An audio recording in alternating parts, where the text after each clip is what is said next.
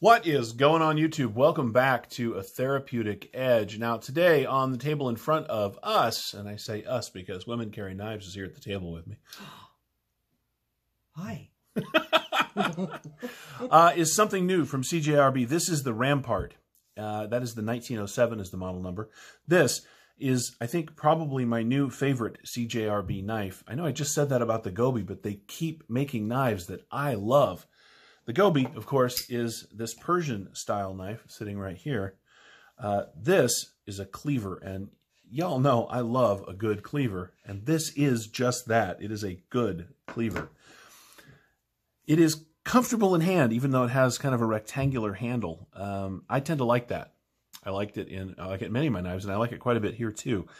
Uh, it has a nice choil, just big enough for my finger. If you had slightly smaller hands than me, this would be ideal. Uh, it is running on bearings. It has steel liners that are not milled out. It's got these two nice barrel spacers in the back that hold uh, the standoffs back here. It's got a lanyard hole, which is very nice if you're into lanyards. It has some jimping on the blade, which is a little soft, but um, that's okay. I'm not sure how much you're going to use that anyway. The action is superb on this knife, as they tend to be when you get them from CJRB. It is a D2 blade running on bearings, which of course means that it is very, very smooth in action. Let's go ahead and get some measurements so we know what we're talking about here. This is one, two, three full inches of cutting surface, three and a half inches of D2. Uh, I would say it is probably three millimeters thick, which is really nice. It's a good chunk of D2. Uh, the G10 is textured so that you get a fair amount of grip. In fact, you get good grip. Uh, the whole thing feels really nice in hand. It has the standard CJRB stamped steel pocket clip. Um, I'm a huge fan of milled titanium pocket clips, except these generally work better. This is no exception. Uh, these clips on these knives are just really very good. This is uh, tip up, set up tip up right hand carry, but you can swap it over and go left hand. It does have the holes over here to move the clip around, which is very nice. It's a liner lock, as you can see, and we lock up at just about 45%. Um, there's a nice cutout here to access the liner lock, and so you can one-hand operate this knife really easily.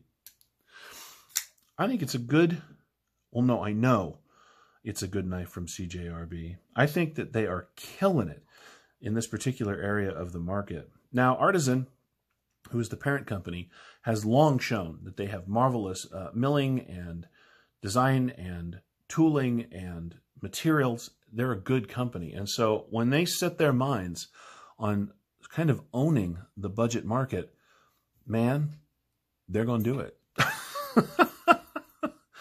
uh, there is a little bit of billboarding, the CJRB logo, which of course isn't bad. It's fairly nice. On this side, you've got the model number and it says D2, and of course down here China because that's where these come from. Please excuse that noise. My dog has decided to come over here and take a drink. That's a good girl, Lola. You go after that water. I swear. Once again, I have no studio. Women Carry Knives has no studio. We have a dining room table, and um, we just kind of take what comes. Is it? That you know, actually, there was somebody who they were wondering why one of my subscriber always calls me Cat. okay. The reason the reason she calls me Cat is because Jared came up in our video at one time, and now Yep. I've been dubbed Cat. Yep. Our cats walk across our table. The dog bumps things. Life around here is exciting. Yeah, However, let's stick to the knife, shall we? Let's do a size comparison. Here it is, again, next to the Gobi. Um, these are very similar in size. Uh, CJRB seems to aim for and nail this particular size of knife. Um, the Gobi looks a little shorter because the handle is curved, but really they are just exactly the same length, or very, very close, which is very nice. Here it is against the Rat Model 1, and you can see the, the one is a bigger knife. Uh, of course, the rat one is bigger than a lot of knives. It is a big knife. That's why I use it in comparison. Let's go ahead and throw the uh, rat model 2 up here just because that's what I do. Um, again, this is a really nice mid-sized knife. It's much bigger than the rat model 2 here, which is too small for anybody as far as I'm concerned. Oh, there it is against the new, well, not new, but the Monterey Bay Knives EZC.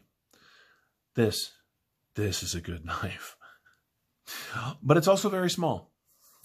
And if you're looking right, if you're looking for something a little bigger and a little more budget friendly, well, you cannot go wrong Yes. with these CJRB knives. I like this. I really do. I know I say that a lot. But the, recently, in particular, CJRB has shown me that they are going to make interesting looking knives for people who want a collection that's not just this. This is a perfectly good working knife.